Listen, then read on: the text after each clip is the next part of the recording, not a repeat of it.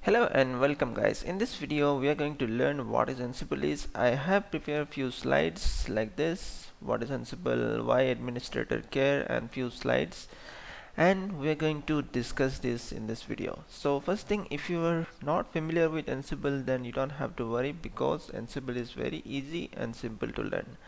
There are few more configuration management tool but out of all I believe Ansible is the simplest and it is so easy. So let's get started. The first slide let me just go. And it talks about why administrator care not this one. Okay this one. So what is Ansible?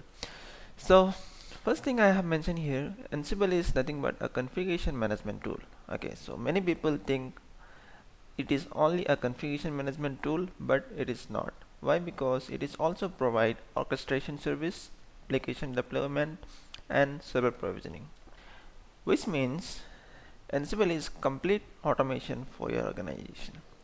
That is why Ansible is so popular and there are 3000 contributors and more than 31000 upstream Ansible projects. So you can imagine how popular Ansible is growing day by day.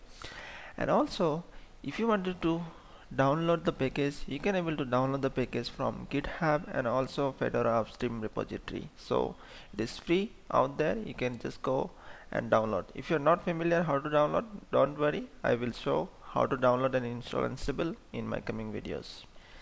And the next thing is you can use Ansible through CLI and also graphical interface. If you are not familiar or much uh, comfortable with CLI then you can also use GUI so which is nothing but an Ansible tower. Ansible tower is a GUI interface provided by Red Hat. And also there is an upstream open source project which is called Ansible AWX and I have prepared a video already for this Ansible AWX if you wanted to see how to download the package and install then you can probably go through my video.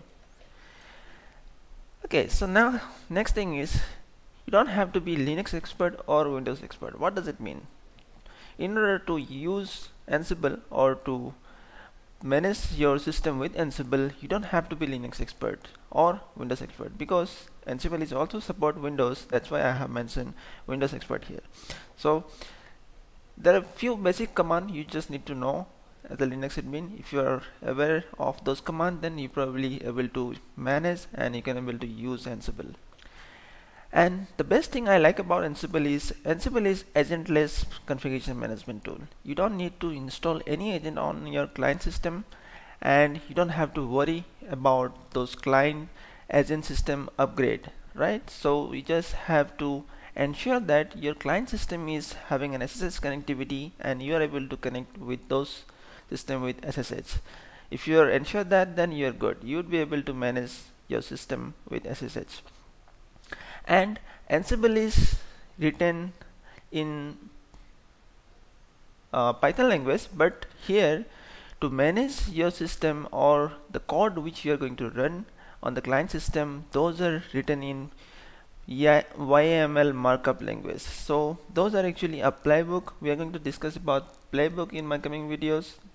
And we will discuss how to write playbook and how to deploy uh, configuration changes in your client system with playbook. So you don't have to worry about that. For now you just need to understand that playbooks are written in simple human readable markup language. That is not a programming language like Ruby and Python. It is just a simple language that if you see those YAML language file you would be able to understand how easy they are and how easy to read them. So anyway I'm going to show you that later and the next part is it has more than 1300 plus modules shipped with Ansible package. So the package which you are going to download and install in your system in that package you will have default more than 30 13,000 uh, 1300 modules comes with that. So what are those modules? So those modules are nothing but the code or the operation which you are going to do on the client system. Example you are going to install some packages in client system so you're going to use the default yum right? So those modules are nothing but uh, the operation like yum uh, command or copy command or anything you wanted to run. So those are the modules are defined and it is comes with the Ansible package so you, you would be able to use. And these are growing day by day. So when they have started Ansible it was about 250 modules comes with Ansible. Now you can see it is 1300 modules. So it is growing day by day. And people are adding more modules on this Ansible packages. Okay so next slide. Let me go to this slide here. So now we'll talk about why Ansible why administrator care? So as a Linux admin why we care and why we wanted to use Ansible? So that is the question.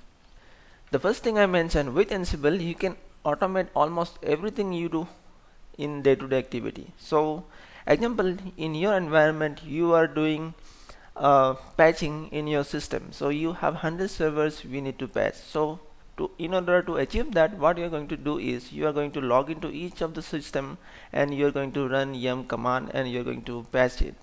So that will going to take a lot of time because you are going to in log into each of the servers and you will going to manually execute yum command.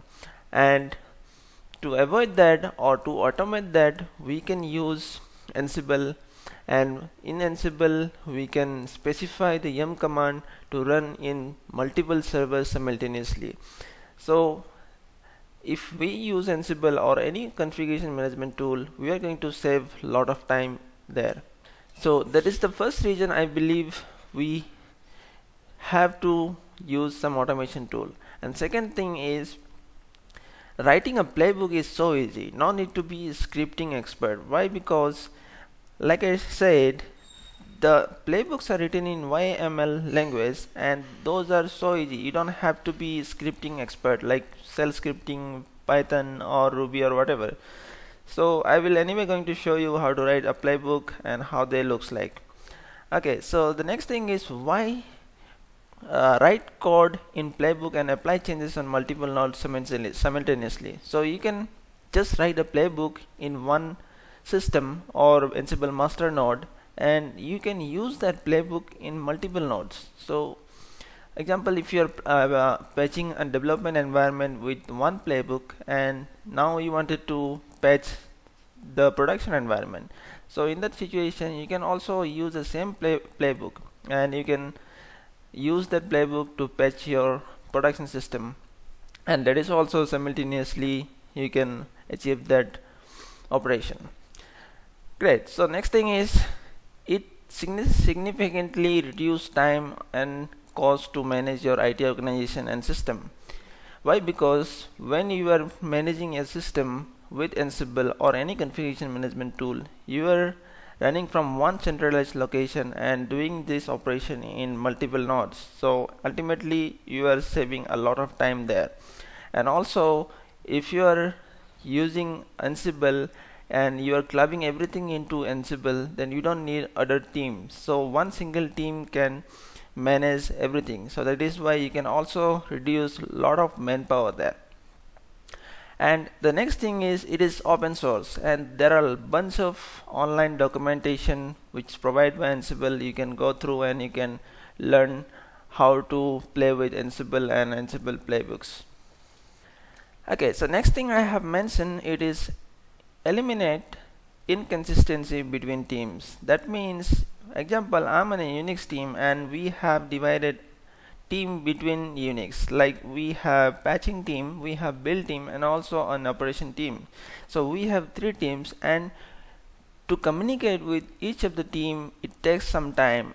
Whether when a new project comes for uh, example there is a new project come for Apache and we have to build around 100 servers. So now build team will going to build the system and once they have done that it will come to operation team. They will check whether everything is looks good or not. And again it, it will once it will completed from operation and again it will go to patching team. They will patch the system and they will check whether it has the latest support level and it is running this latest patch level or not. So it takes a lot of time and also there is a dependency between teams.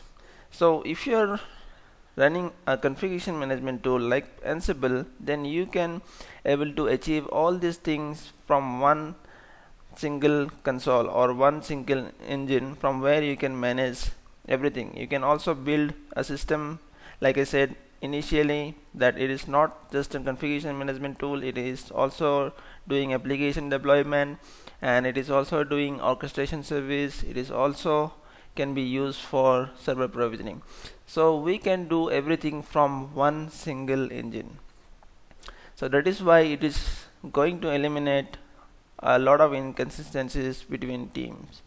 The next thing is it will significant, significantly improve the speed and reliability of continuous development and continuous integration system. So if you wanted to add any system or if you wanted to add any new infrastructure like cloud AWS Azure or OpenStack whatever it is you can add them in Ansible. We have modules for them. You just have to use those modules to add and you can use and you can build server from AWS okay so the next slide it talks about the application support platform. So it supports not only Linux it support Unix Windows. So in Linux it support all the flavors if you wanted to use SUSE CentOS you can use it not an issue. And also you can use Unix. You can also use Sun Solaris HPUX or AIX if you wanted to run Ansible you can able to run it. And it is also support Windows. So that is what it says and it, you can also run Ansible in Apple. Okay the next slide it talk about the components. So component are the most important thing in Ansible. So you have to familiar with this component. Otherwise you won't be able to use Ansible because without understanding the components it would be difficult for you to run Ansible so there are four major components which is the engine first uh, I have mentioned here. So with that engine Ansible command itself we run playbook. So that is the Ansible engine we need. And second thing I mentioned already it is about the Ansible tower. If you are planning to use GUI interface then you can use Ansible tower. And third thing the Ansible playbook where we are going to mention all the codes and operation we are going to perform on client system that is Ansible playbook and also the core modules which I have said the modules which comes with the package and we can be able to use those modules as per our requirement. And there are also some sub components which is uh, there in Ansible. We have to be familiar with those sub components those are inventory roles we have Ansible Galaxy template vault and Jinja 2 template. So anyway we are going to discuss all these components and sub components in my coming videos and we will go through each and every components and how to use them